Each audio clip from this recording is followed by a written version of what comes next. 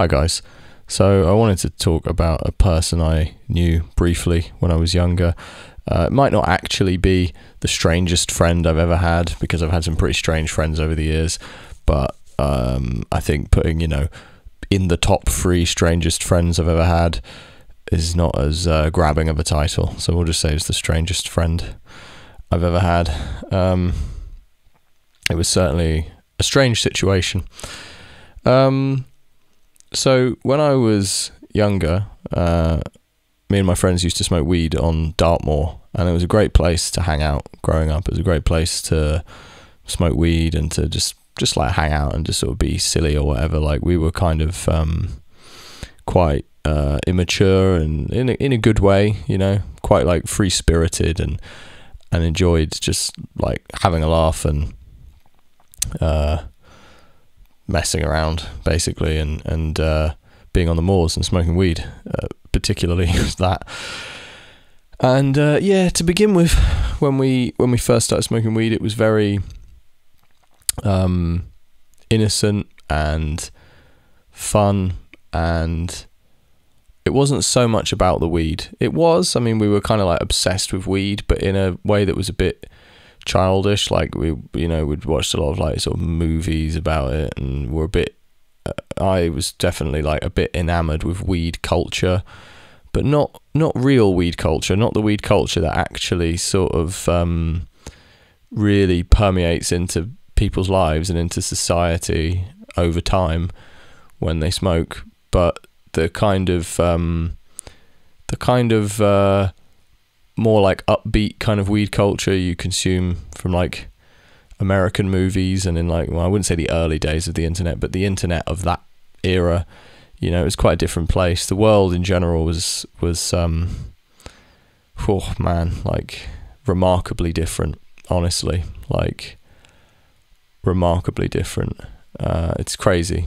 It's crazy to imagine how different it was. Uh, it was when I think back, I I don't know, man. Like I know I know how this sounds, but I really feel bad for people who don't get to experience the world in that way now. Like young people, I uh, I know that there's just like I know that people would have said that about my generation as well, but um, and that was probably true, but I, I feel bad for like teenagers now, and I know the phones thing is a very um, sort of uh, obvious topic and sort of cliche thing to talk about, but but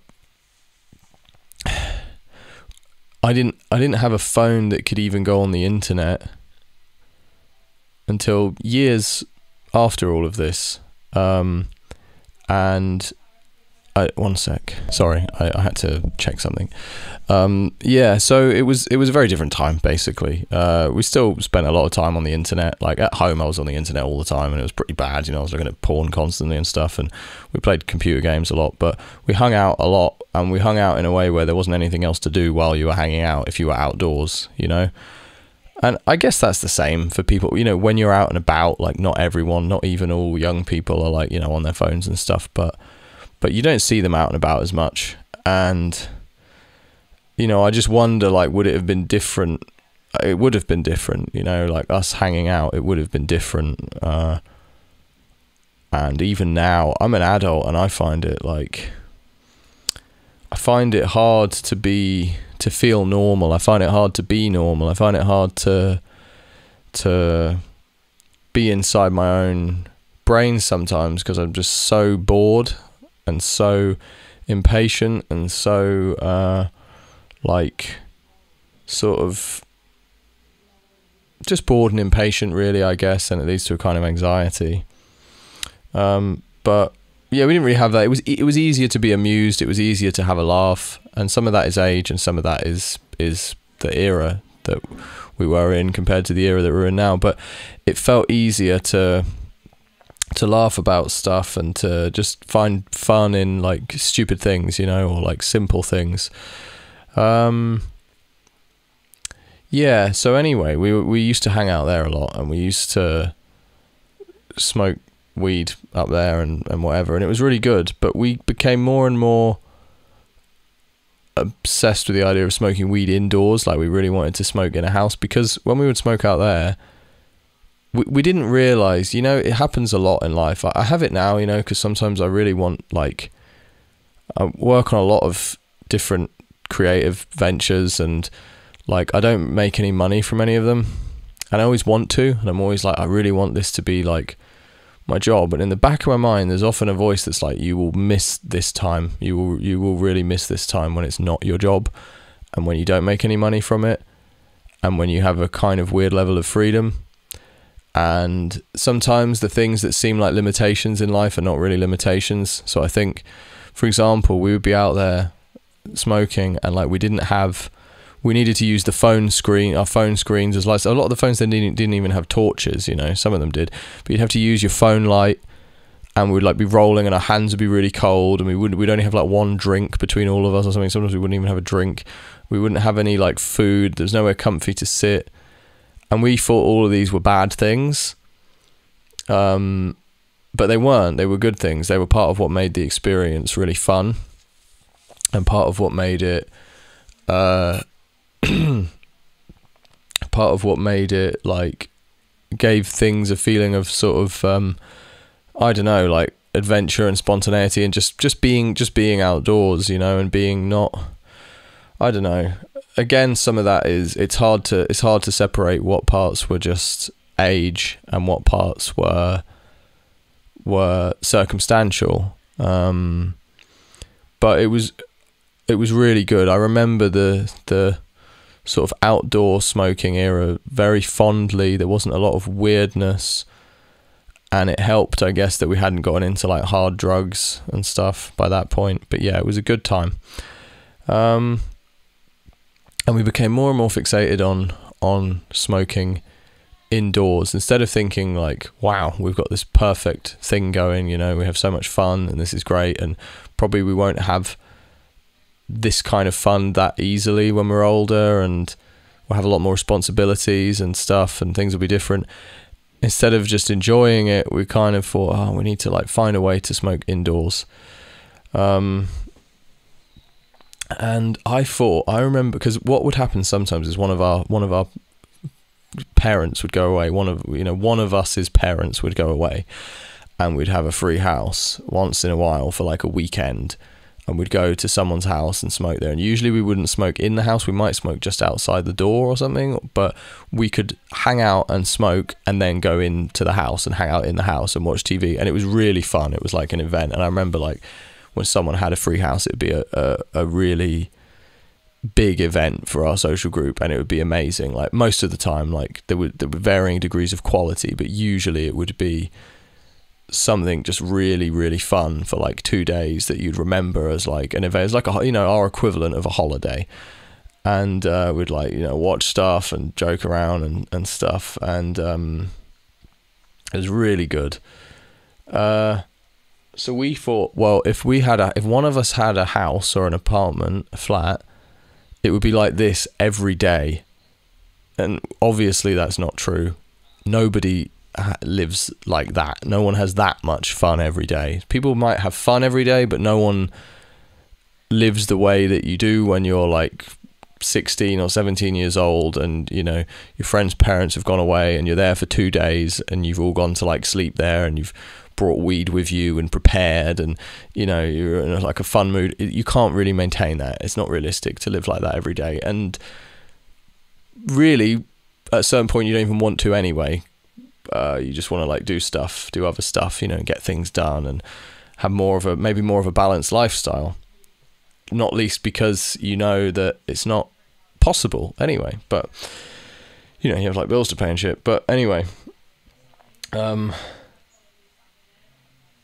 yeah. Uh, so we we thought, well, if we could just find, you know, there must just be somewhere, you know, and we tried different things, different different ways of achieving this and different sort of uh, avenues you know like so and so's parents had like a second home. Maybe we can like break into that and that can become our house or something you know all sorts of different things.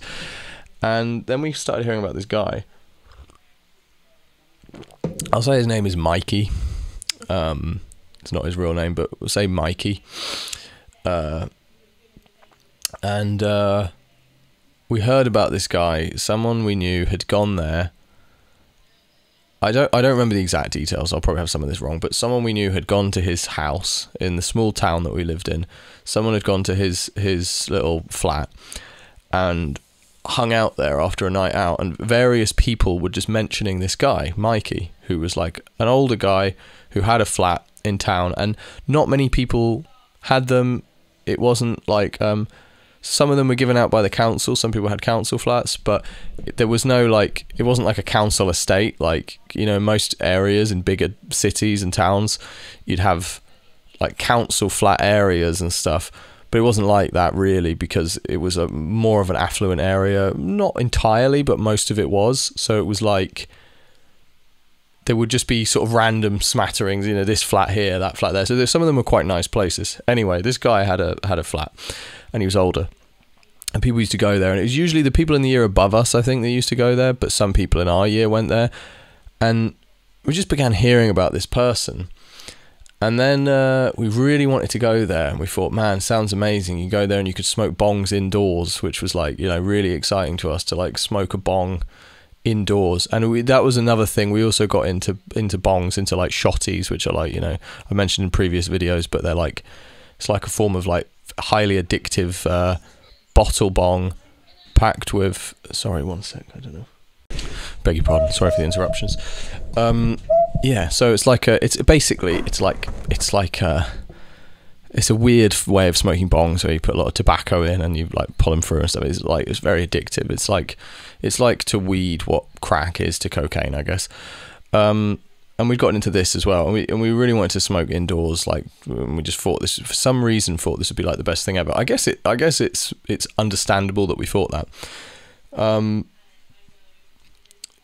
needless to say, you know, years later, after after years of being able to smoke indoors and smoke weed whenever I wanted, as long as I could afford it, it w- wasn't the sort of dream I thought it would be. It's not it's not it's not exciting to like sit around with your mates like smoking bongs indoors all day from morning until night. It's not it's not fun. Um, and it's not sustainable and it's not it's just not it's not like a never ending like party, you know, like when you're a teenager, like it just isn't like that. Uh, so so anyway, we started thinking, how can we go to this guy's house and to his flat and smoke weed? And um, I think what happened, I don't remember the details exactly, but I think what happened was me and another friend, uh, we we just thought if we just hang out there, like we just hang out outside, we can be accepted into it. Um, and we we tried this. I think we thought like we'll just hang outside, and then when someone comes outside for a smoke, which is dumb when you think about it, because obviously they weren't coming outside for a smoke; they were smoking indoors, which is why we wanted to go there. But we thought someone else will come for. Someone will come outside for a smoke, and we'll be like, "Oh, have you got a lighter? Like, can we borrow your lighter?" And then we'll start chatting to them, and then they'll invite us in. We used to come up with these schemes a lot like that never worked but we thought like yeah man we'll just like talk our way into this situation. Never did it once. I mean this guy maybe did sometimes like he he was probably more likely to be able to get away with that than i was. But we always thought like yeah we'll just we'll just do it. We'll just socially maneuver the you know situation. And uh, i don't think that worked. And then someone else we knew went there on a, on a night out and i think did did a line of mephedrone and that was another thing that became like a source of intrigue uh, something. I, I don't remember the chronology of all of it, but in the end, we ended up being invited in with someone we knew or something, and we, we were able to go there and, and hang out. And we met this guy, Mikey, and he had a lot of friends around who were like, um, he was older, and most of his friends were older. You know, they weren't all his age, but they were like older than us.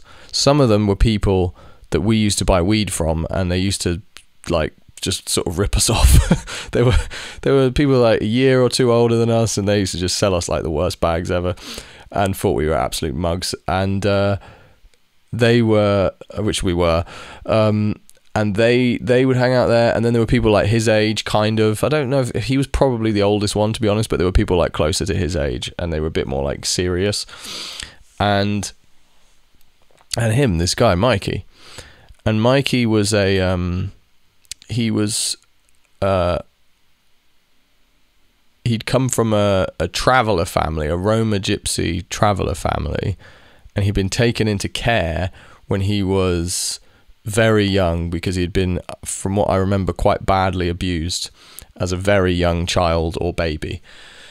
So he'd grown up in care. And so he didn't have any connections, from what I could tell, to anybody. Um, he was just kind of apart from his friends, you know, that he would like smoke with and stuff. And he wasn't from this town. He hadn't even grown up in this town originally. So anyway, uh, we started hanging out there, and it became immediately this kind of, um, you know, we tried to sort of fit in there, and we were trying to like enjoy it, but there was always a feeling we had often in these kinds of situations where there were these more kind of serious guys who were like bit older and a bit more like trying to sort of be hard and trying to be cool all the time, and we weren't hard or cool, and also we weren't really interested in being that, and we were more just like you know, we would try and like sort of fit in, but we weren't really like, we didn't really want to be like that. We didn't really like people like that. We found it kind of annoying and tedious to be around. We were also a bit like intimidated, you know, by these kinds of people. And we just wanted to like have fun and smoke weed. And Mikey really liked us, basically. He really liked our like kind of uh, childlike energy. Childlike is maybe the wrong word, but you know, fun kind of like silly energy, I guess would be the right word uh, he really liked that, and he really enjoyed being around us, and he enjoyed being around these other guys as well. But um, you could see immediately he kind of connected with with our our way of you know hanging out and and all of this, and um, what would happen with people would come and go, people would come and go, and like he would he would always be there. He was the one person who was always there, and his door was always open to everyone, and you know, to everyone that he knew. People would just turn up and be like, "Oh, I'm coming around for a smoke, whatever," and people would use his place. Obviously, in hindsight, like they were just using him to just come and sit there, and then they would go off and like fucking sell some weed to someone and come back and sit there, and uh, and yeah, he was quite. A, he had a friendly demeanor. He was quite amusing. Um, he seemed a bit like a bit sort of like gormless sometimes. Uh, he was quite a good-looking guy. He was like pretty tall. He had just quite a likable, charismatic energy. You know, you sort of liked him, but it was something a, a little bit strange about him. Uh, and he did. He had this kind of odd gormless vibe. You know, where you couldn't tell how much of it was a joke or not, and how much he was like, like being silly, and how much was like he didn't really understand what was going on around him and he he had a fun, friendly energy, but you did feel like sometimes there was this trace of like seriousness underneath it, where you know he would do he would react to something, and you were sort of like, mm, is this? You know, I think he's joking, or I think he's he's laughing here, but you you know it was, it was something a bit a tiny tiny hint of feeling a little bit uneasy around him, but generally like he was very likable, um, and friendly, and. uh and so these people would come and go, and then sometimes what would happen is it would just be us there, uh, like me and my friends and him, uh, or some combination of us. You know, there was there was two of us who were there a lot, or three of us who were there quite a lot, and then the other two didn't live locally, so they weren't there as often. Um, but there would just be some combination of us there, and his friends would leave, and then the atmosphere would change, and it would become a lot more like sort of like fun and silly and stuff, and we would start like telling him about weird shit, and you know, like telling him about weird stuff we were into and you know all dumb like stoner talk and stuff that we were into and uh, sort of like blowing his mind with all of this stuff. And like for example like I, one thing i remember specifically was that he didn't know anything about space. Like he knew nothing about space. So we were just saying telling him very basic facts about space. And he couldn't believe it. He thought we were like making fun of him. He thought we were making it up. And he was he just like he just didn't know any of you know and he was like nah nah you boys are having me on. You boys are taking the piss out of me. This is a joke. And like there's again an example of something where like you couldn't tell was he fully serious. Was he almost like angry about these you know space facts we were giving him and stuff? It was just it was just like a kind of it was an unusual situation.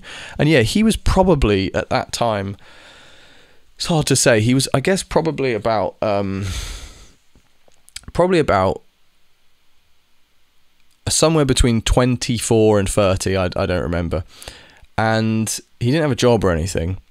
And he used to say a lot like that he was getting ready to join the army. He kept talking about how he was going to join the army but you just sort of got the feeling that he'd been talking about this for years and not doing it. And he had this poster, and it was like an army workout poster. It had like it was like a big, a big like you know one of those large bedroom wall posters, and it had some stupid like army workout thing. Like you know nowadays you just like go on fucking TikTok and see some workout something, but it, it was like I guess a slightly simpler time where you might actually buy a poster that had workouts on it and it was just like you know 100 push-ups uh, 100 squats do this increase it by 10 every day or whatever. And it had like some guy in like army uniform doing all these workouts on the poster.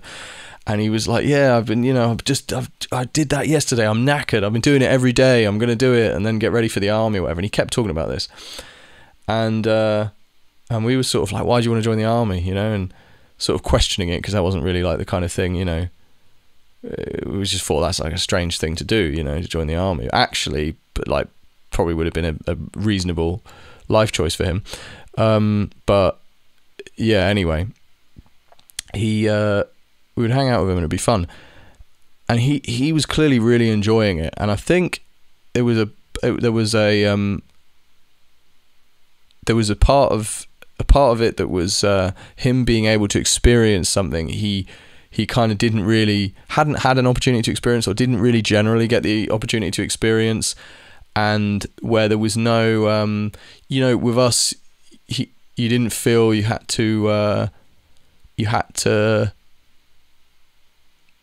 you had to be a certain way or that you know we were trying to get one over on you or that we were going to like do something or you had to have your guard up or you had to be intimidating or had, it wasn't anything like that it was just like we just wanted to have fun. We were just hanging out. We were just nice people, and it, some of that changed a little bit, like in the sort of following year or two when we got more into like drugs and stuff.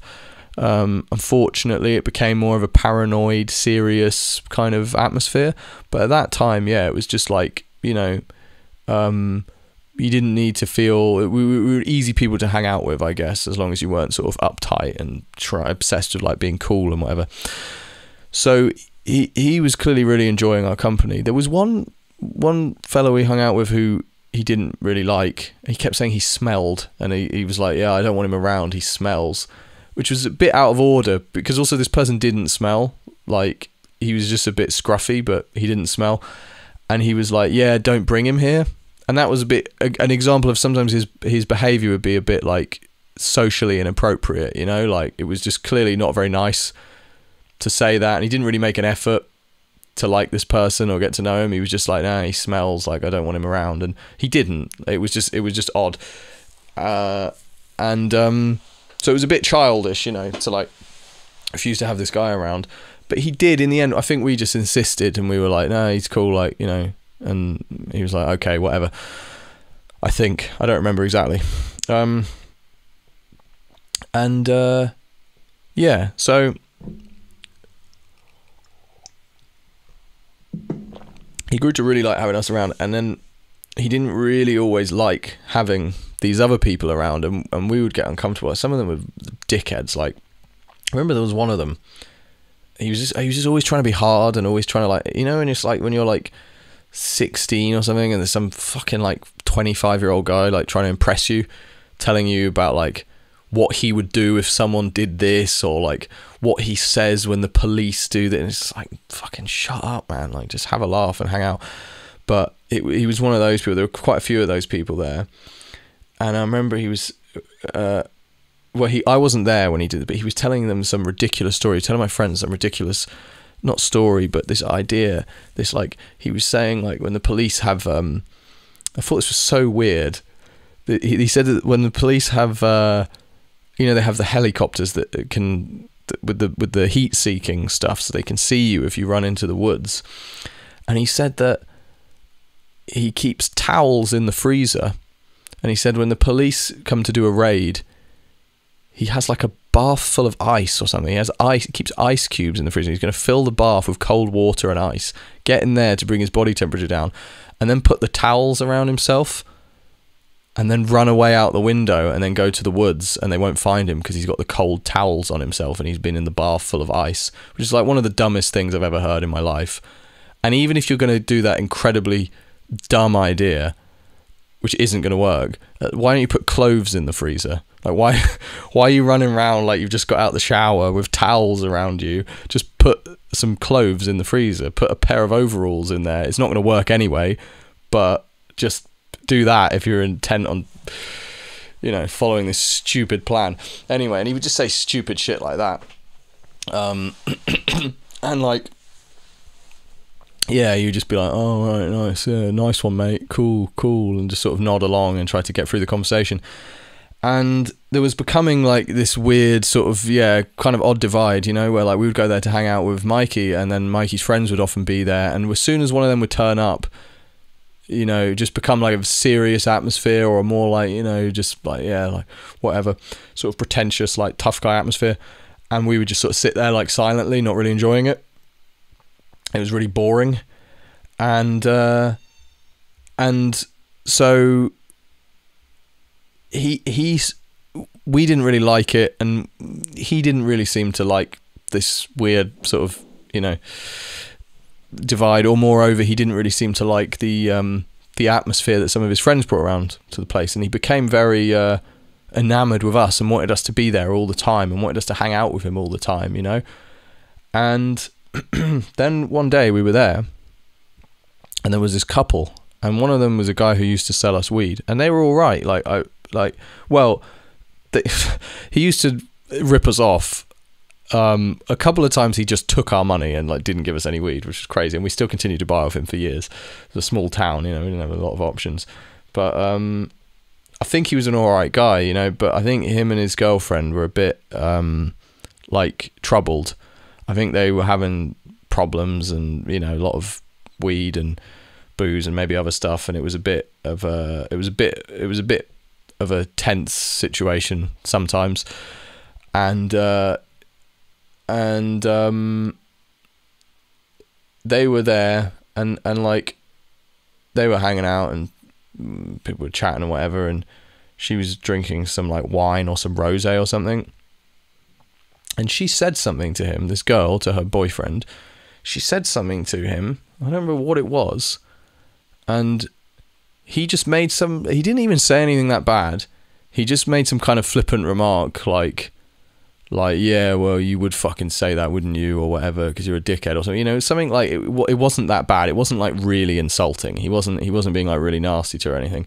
She was just kind of like you know like sort of yapping at him and they were having some kind of thing and he just said something like sarcastic kind of under his breath in front of us to her. We were at this point we were on sofas around a coffee table and then suddenly out of nowhere it was really weird she like very quickly just launched herself out of this chair and grabbed the the rose bottle and fully like full power went to just smash it over his head. So it, like she was gonna just fully smash this bottle over his head.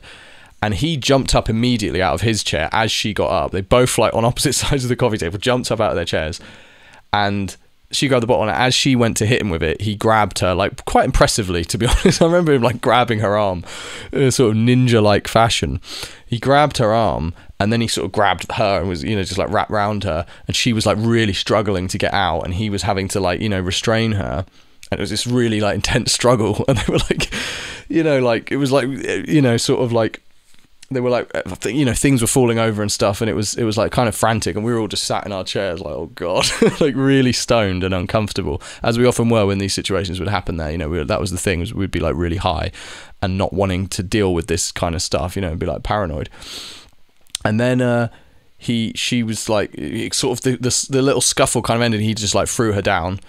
And uh, you know he just did his best to try and like restrain her and stop the situation. He, you know he didn't he didn't um he uh he was, it was he was just like defending himself, you know, and he threw her down on the uh, sofa or whatever, and then she was like screaming and crying. She was immediately very emotional about the situation, and and she like just like ran off or something outside, and then they went outside and started having a mental argument right outside the front door of the flat, and it wasn't it wasn't a block of flats, so this just went out into the street. So they're out in the street in this sort of alleyway, having a mental argument, like super emotionally intense, you know. And we were all just sat around like twiddling our thumbs, being like, hmm, pack another bong, and you know, like trying to just like sort of hang out and politely ignore it. And then while they were having this argument, the guy, the boyfriend, went mad and uh, started punching one of the mailboxes on the wall. And he punched the mailbox so much that I think he like badly broke his hand, and a lot of the fingers were like out of place and stuff. And the mailbox was all dented and completely like smashed in. And um, he had uh, yeah he'd like badly damaged the mailbox and, and and had to I think presumably had to go to hospital for his hand. And Mikey came back in and was like annoyed, you know, he was like that was crazy, wasn't it? And we were like, yeah, man. And he was like he was he was really annoyed. And he sort of like closed up for the night, you know, and we were in there and, and he was like this is like ridiculous, you know, people coming here and doing stuff like this. We're trying to chill out and have a nice time. And he kept referring to us, by this stage, he'd begun referring to us as the boys. And he was like, I'm trying to chill with the boys, you know, I'm trying to have a nice time with the boys, trying to have a nice evening. And people keep turning up and doing stuff like this. And, and, we were like, yeah, man, it's crazy, you know. We didn't want to say anything rude though because we knew this other guy and and they were friends and we didn't want to like be like, yeah, that was fucking ridiculous, you know, like what a dick or whatever, you know, and and uh, and also it was just quite an intense situation, so we sort of felt a bit like kind of felt bad for them, but also it was a bit like fucking hell, you know, it was chilling having a smoke, like it's not really very nice to be around. Um, and and so uh, we were sort of kind of biting our tongues. We had done generally when these things had happened there or just in general about the whole situation. We'd never really said anything because we were like we were just basically scared of everyone. Like we didn't want to like you know someone to find out we said something he would tell them and then they would like try and like fucking beat us up or something you know? So we were just like keeping our mouths shut about everything. And uh and then he just kept going on about it and we were like yeah. And then eventually the more he was talking about it, he was complaining about a lot. He was really annoyed at what had happened and he kept being like yeah i'm trying to you know have a chill evening with the boys. And we we then started to be like we were like yeah you know it's kind of sometimes a bit weird here. And we started to sort of slowly kind of you know express how we were feeling about it a little bit. And we were like yeah you know like nothing against these people but sometimes there's a bit of a, a bad vibe and you know we when when it's just us lot we're just having fun and it's always fun. And then there's other people who come and it's not really very fun and it's like very serious and stuff like this happens and it's just not really you know we kind of we're more like we just prefer to just chill out and have fun. And he was like yeah yeah. And he was like really taking it in and thinking about it. And you could see him he was like yeah yeah yeah yeah yeah yeah. And he was really like really consuming this information you know? And and then he was like hmm and you could see he was kind of planning what to do. And then uh, later that night one of his other friends came by someone who'd been there you know quite regularly from the beginning when we'd been hanging out and he came he came there he knocked on the door and mikey was like no you can't come in. He opened the door and like put his head through the door and he was like no no, no you can't come in and he was like why not uh, you know because they were friends and he was like I'm just trying to have a quiet one with the boys. Like, I don't want all this. You know, I've had so and so here, and he smashed up the mailbox, and I'm just having a quiet one with the boys. And he, the guy was like, well, I didn't do it. You know, which was fair enough. He didn't, and like we didn't really like this guy, but he hadn't done anything that we were aware of. Um, and he was like, no, no, no, no. I'm just having a quiet one with the boys. So you got to go. And then he like pulled the blinds down on the front door and dimmed the lights so it didn't look like anyone was in and just closed the door and we just hung out for the night and smoked there and tried to have fun. It was a bit of a weird atmosphere. And then uh, we thought maybe that was just for that night, you know? And then he began refusing to allow anyone else to come around apart from us. And we would go there and people would turn up. It's, would ha- it's happened quite a few times and people turned up and he was like, no, I'm just here with the boys and we don't want you here. and we were like, "Whoa!"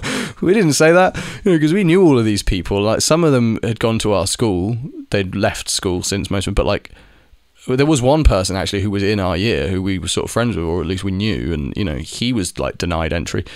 And a few, quite actually, there were a few people when I think about it. Like they, we didn't really tend to be there at the same time as them, but um, but uh, yeah, some girls from our year were there, uh, which was a bit, you know, in hindsight, I guess a bit a bit strange.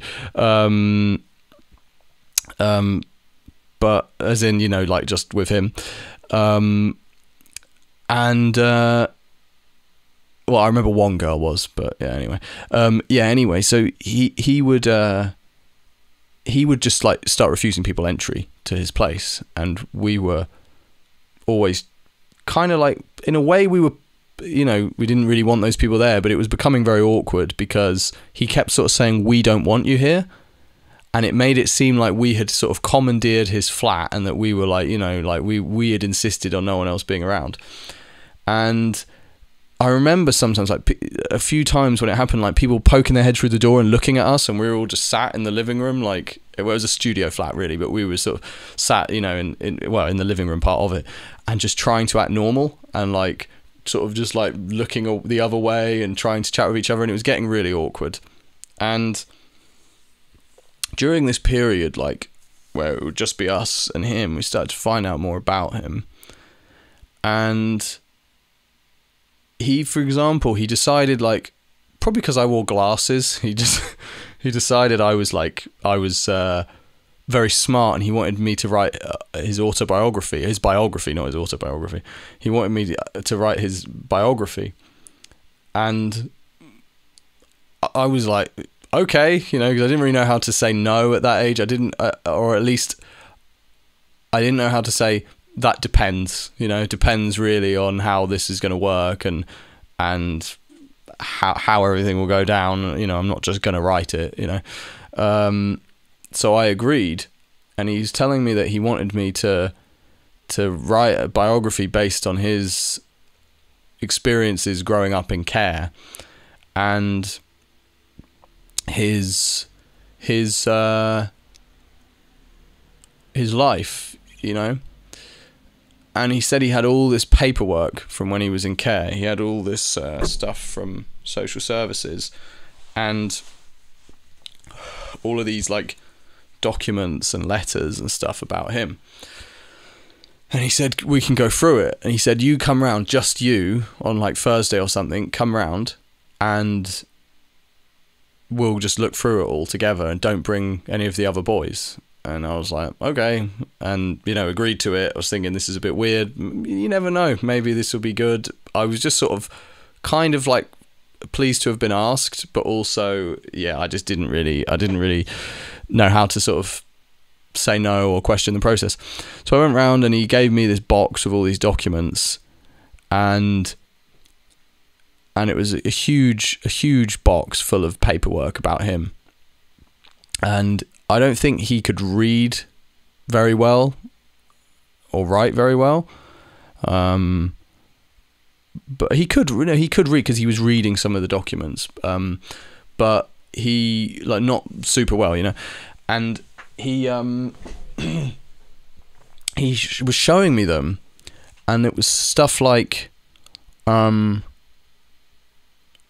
Mikey is completely unresponsive in class and refuses to speak and is you know aggressive with his teachers whenever they try to like communicate with him and he just refuses to participate in anything. And it, it was all it sounded very serious like not normal not like you know slightly normal sort of misbehavior. It sounded like someone who was like very very unhappy and very dysfunctional and very uncomfortable in the environment that he was in.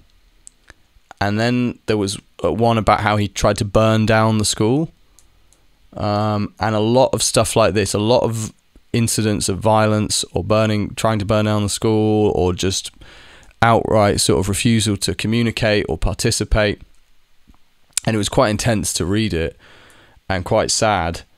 And um, from what I could gather, he didn't have any anything basically. You know, like he grew up in care, and he didn't have any, and really anything. You know, like he didn't have anything to to hold on to in life, and um, it's uh you know, he was still quite a friendly guy. He was still like nice to be around, and he was still he seemed like someone who there was nothing wrong with him uh, genetically. There was nothing wrong with him like inherently. You know, that's what I mean. Like he he he um he was enjoyable to be around. You could chat to him. He was seemed nice. Uh, he was a charismatic person. He had you know something going on in his brain. Like he wasn't um he wasn't like boring. Uh, and all things considered, he was pretty nice. Like considering, you know, the the sort of upbringing he appeared to have had and how he appeared to have been when he was younger. Like he was nice enough to be around. Um, and uh, yeah. So anyway, we were looking through this stuff and I was like, okay, and then reading through it all, and it was every every page I looked at, there was something like this in it, you know, and it was it was kind of like sad. And he, I don't know how much he really wanted to write the book. He just wanted me to see it. He just wanted to like show someone this stuff, and he seemed quite invested in my reaction to it. You know, he was like showing me these things, and he seemed sort of. Uh, to to uh, just to he wanted to see me seeing this paperwork. He wanted to see me seeing him, kind of, and I looked through it and was like, okay. And then we sort of talked about it a bit and how it would work, and then the idea just kind of petered out. Really, like it never happened. and I think that was more or less the last of it. And then, uh, yeah, we would continue to have this weird situation, and it became a thing where people even that were in our year at school, I remember a guy was like, was like, "What's all this about?" You know, we used to go there, and we, he won't let us go around there anymore, and he's like stopping everyone from going there. And we were like, we didn't really ask him to do it, to be honest. Um, it's just kind of happened, and people were pissed off with us. A lot of these people felt it was our fault and were very unhappy, and felt like we had ruined this guy's flat and the whole you know sort of hangout situation there um and uh and then the more that it was just us and him the more i guess would would become a bit weird sometimes being there. And you started to feel like it wasn't going anywhere because we kind of had our lives ahead of us. And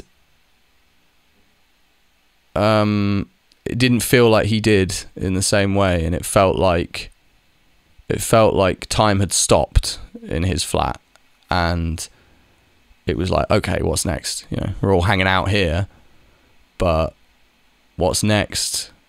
Where's this going to go? And and it led to a, a kind of weird atmosphere. I think that was a bit of a feeling of like you know, like our circumstances are very different from one another. You know, and and um, I don't know. I don't know exactly. There was there was a lot of reasons, but it was sort of like it was there was a feeling of like what now, you know? Now that everyone else is banned, we're all just going to sit here like we're not really going to we're not living life in the same way. We have very different lives. We were still we hadn't we hadn't even left sixth form yet and uh, which is like, you know, school basically if you're American. Um, it's like the last, you know, year or two of school.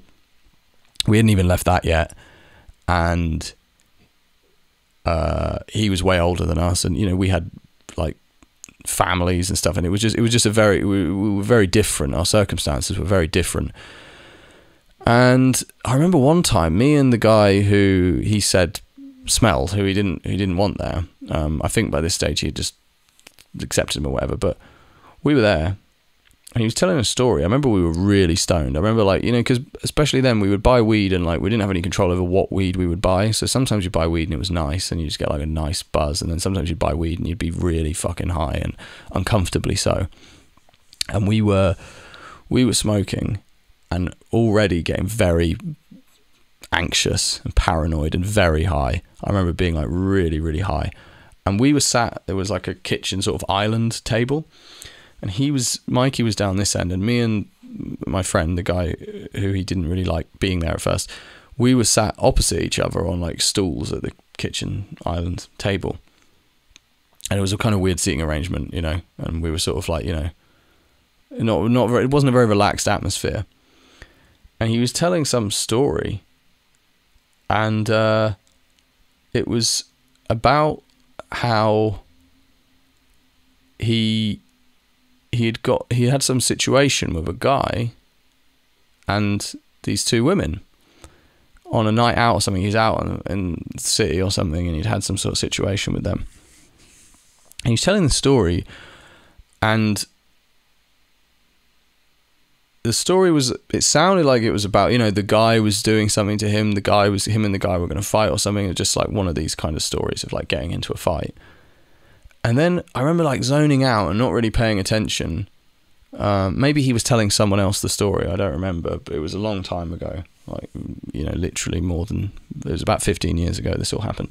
But he was telling this story and then and then i remember sort of zoning out and i feel like we both were and then he said something about then he was like yeah then i then i then i grabbed the woman by the back of the hair he grabbed her by her hair and he was explaining this you know he's like yeah then i grabbed her by the back of her hair and i and i smashed her face through the glass.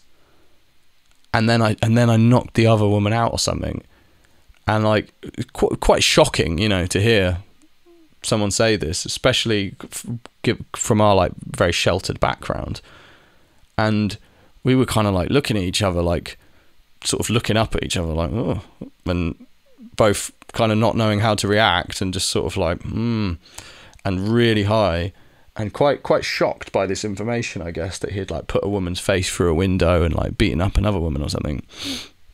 It was quite shocking, uh, and yeah, we just kind of hung out for a bit and then left, and we were kind of uncomfortable. Like, oh, that was that was a pretty weird story that he told and we didn't really know how to react to it. And then there was a situation we then found out about that had happened prior to all of this, from what I remember, prior to us knowing him.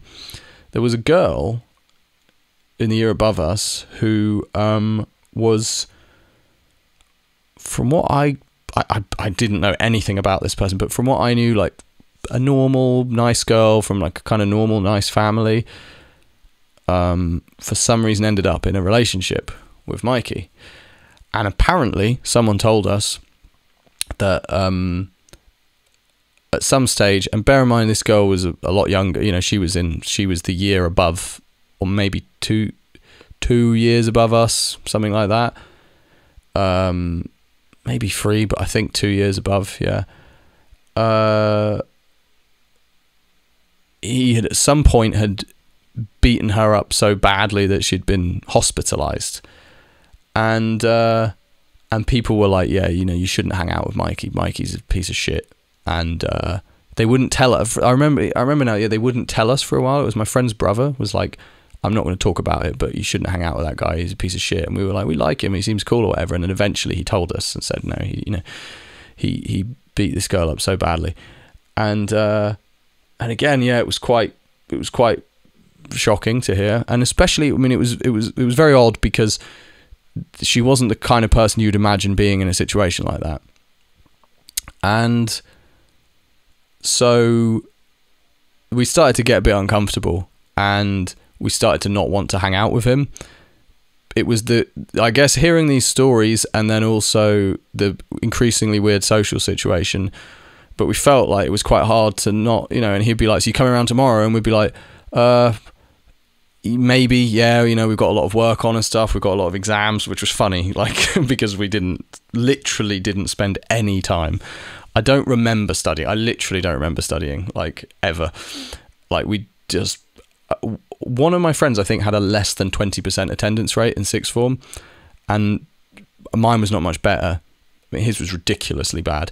I think he had like 18% attendance for his classes or something. It was crazy. We were just absolute like I mean we did we didn't yeah, didn't study, didn't go to school ever. But I think we started using exams as an excuse, which was kind of funny. Like, yeah, we've got our fucking A levels coming up. We've got to get ready.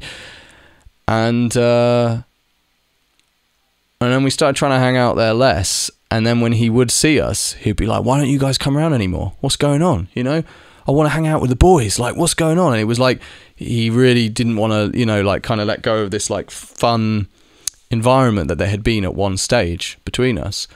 And we were like, "Yeah, sorry, man, just a bit, you know, busier." And he was like, "What's what's going on? What's happening here? You know, why don't why don't you want to come around? I want to hang out with the boys and stuff." And he was just he just had this kind of um, what felt like sort of childlike naivety about it, you know, that was a bit it was it was a bit difficult to to it was just a bit uncomfortable, you know. You sort of it felt like a bit harsh, to be honest, like for us to not you know hang out with him in spite of you know the odd things that had begun happening and that we'd heard. Um, and uh, it did feel like uh, there was just like a kind of um, a childlike quality to a lot of it, and I know that's kind of incongruent with like putting a woman's face through a window and stuff. I understand that, but it did feel like there was a part of him that just uh, hadn't had the necessary environment to like just grow up, and you know, it was it was uh, clearly not a normal upbringing whatsoever. Um, and it takes quite a lot to be taken into care at such a young age. Like, I mean, really bad stuff. You know, it really is like uh, they're not that that eager to take people into care. A lot of people get. I, I know it varies from case to case and region to region and everything, but like people go through a lot of stuff before they get put into care. So to get put into care at such a young age, when you're like you know pre-verbal, is uh, is kind of crazy to be honest. Um, and uh, and then yeah, so we then just started trying to kind of hide from him, and I, I wasn't there one time, but one time he saw one of my friends walking back from school through the park and he was on the other side of the park like really far away and he shouted out to him and the guy like tried to just wave and ignore him and then he just like sprinted across the whole park and they said he got there and he was like panting he was knackered and he was like what's going on? Why don't you come around anymore? You know and he was getting kind of like hostile about it like the fact that we weren't really coming around anymore and we were then just constantly trying to hide from him and uh, it became like a kind of an awkward situation um, and then uh, then we didn't really interact with him like beyond that much and i think he started hanging out with some of his other mates again and kind of like made amends with them and then the last we heard he was moving to a completely different part of the country with one of his other mates he was leaving the flat and just like moving somewhere uh, it's quite random. It was quite a random place to move to. I don't think there was any particular reason to move there. It was like a kind of odd random place. I don't know if he was moved around deliberately by the council, you know, like it, having been in care and maybe come maybe had some sort of difficult ties to his past. Maybe they'd that's why he'd ended up in our town in the first place. Because again, that was also quite a random place for him to have been in. There was no nearby like traveler community or anything. So I think maybe they'd put him far away, and then if he ever maybe sometimes got himself into situations, then maybe they moved him again. I don't know. Uh, maybe not, but I mean, I don't know where how he was getting a flat in this other town because he didn't he didn't have a job or anything. And uh, yeah, then eventually we just kind of it just it just petered out and we stopped hanging out with him and that was it really. Um, but I found it uh, it was all it was uncomfortable, um, but like and and the stuff we heard was obviously horrible. Um, but it was um, it's hard to it's hard to imagine how a person could even live growing up like that you know? It's hard to imagine like it's hard it's hard just to have a normal family. It's hard. Life is hard. It's hard to deal with relatives and friends and partners and stuff. It's, it's like really hard you know? Life is genuinely difficult. I think for most people there's a lot of difficulties and hardship you face and even um, even yeah in a normal family and of course in a in a in a dysfunctional family that has its problems it's really hard it's really hard to cope. Even if you you know you have one or two family members who you really love and really get on with and have a decent relationship with, if you have even one family member, one direct family member who's a difficult person or who's abusive or unpleasant or, or absent or whatever, like it's it's a very hard thing. I mean, even if someone's dad leaves or something, you know, like that can really screw people up. The the rejection and the abandonment and um, just the lack of that presence in your life, it can really like, you know, really screw people up.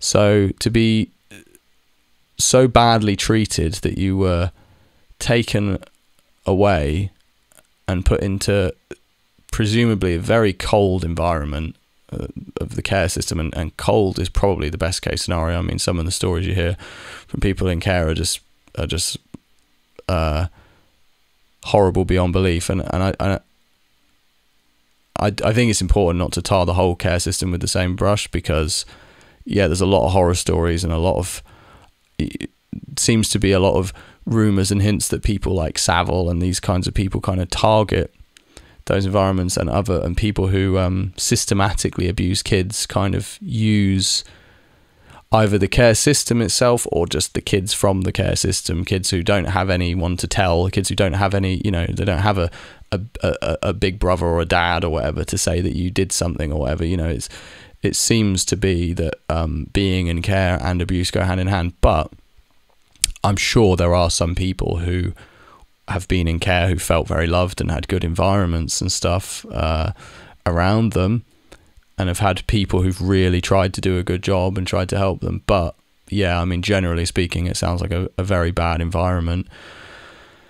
And to go through all of that as a kid and to have no one, no family, no connection to anything, and then to become an adult, that seems in a way almost like the worst part because you can get through this like torturous, confusing, lonely childhood, and then it's like, there you go, you're free, go off into the world. Like you don't even have the the system around you. You know, there's not even people who are there's there's there's nothing.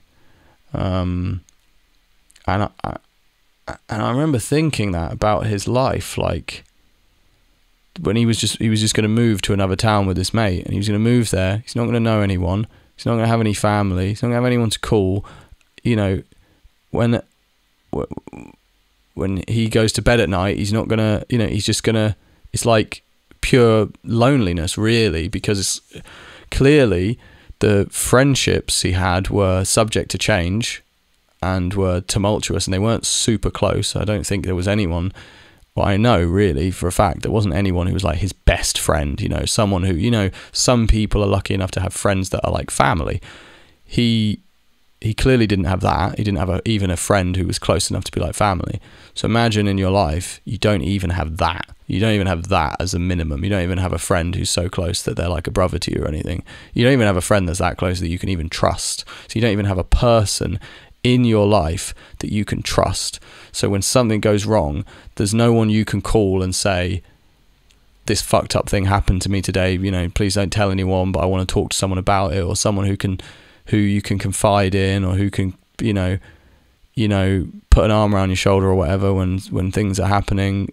The world would be a very cold and unfriendly place, and uh, it's not it's not hard to imagine how someone in that situation would become very dysfunctional. And in fact it's hard it, it's hard for me to understand how functional and friendly he was on a day-to-day basis to be honest because there's people who go through stuff like that and they're out in the street you know like screaming at people and stuff and you know like dressed in rags. Uh, so it, you know the fact that he was you know relatively together and enjoyable to be around is is uh, it's kind of something in a way um, to me. But but uh, yeah, I don't know. I don't know. I don't. You know, it was all kind of. It was a bit of a mystery. Um, a lot of it because yeah, there's a lot. There's a lot we didn't know about him, and and he kind of just came into our life, and then and then uh,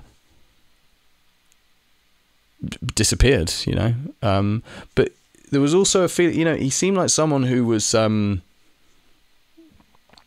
uh, you know, he would he wanted to help or do you know he would he would have your back if something went wrong for example you know and like he would uh, really it was probably more like he would have your back if like someone did something to you you know. But he was uh, he cared about people you know he wasn't he wasn't um you know he cared about people and he and, and he had he had uh he had um he wasn't an entirely bad person. Uh so yeah, it was a weird situation. It was a strange thing to be exposed to, um, and and uh, yeah, it goes to show, you know, because you might meet someone like that and not and just think it's just a normal person, and then they might behave in a certain way, and you think, oh, this person's a dick or that, or whatever. I'm not, I'm not saying that you know uh, his experiences excuse his behavior. I don't I don't believe in that. I don't believe in that as an idea. I don't. I just don't think that's like a practical way to look at things. Um, to look at it as one or the other. I, I don't really look at things in that way. Is what I mean to say, in terms of like. I, I don't know. This point is it's it's too much to get into now, but but um, it's just uh, it's just you just you just wouldn't know. A lot of people you know you hang out with like or meet, you just wouldn't know. You don't you don't know what they've been through. Um, and there are some experiences people have in life that are that are uh, difficult or lonely or confusing or traumatizing to a point that like um, most of us are lucky to not to not be able to imagine or understand. Um, so uh, so yeah, that was that was him. As I say, I mean, I've I've had I've had actually uh, probably I can think of one or two friendships I've had that have been even stranger than that. But there's some of them. There's one in particular I I can't really talk about. Um, I would like to, but but uh, some very odd stuff happened. I wouldn't say a similar situation, but um, but kind of.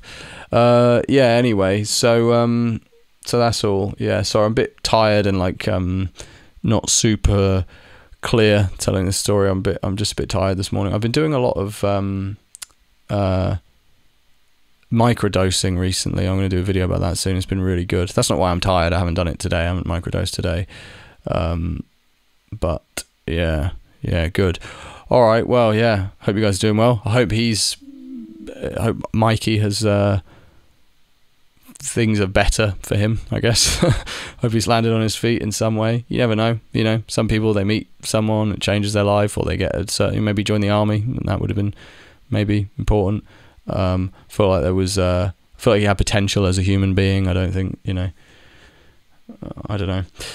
Yeah. Anyway, all right, guys. Thanks for watching. Um, and uh, yeah, take care.